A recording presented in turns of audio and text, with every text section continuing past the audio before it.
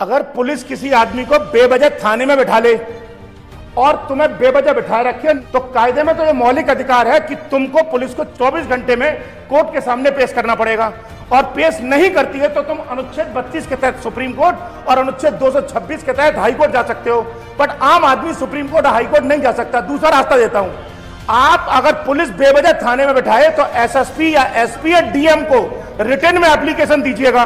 कि पुलिस हमारे बंदे को बेवजह थाने में बैठाई है और हमारे मौलिक अधिकारों का उल्लंघन हो रहा है। और फिर भी अगर ना सुने तो 112 या 100 नंबर पर कॉल कर दीजिएगा।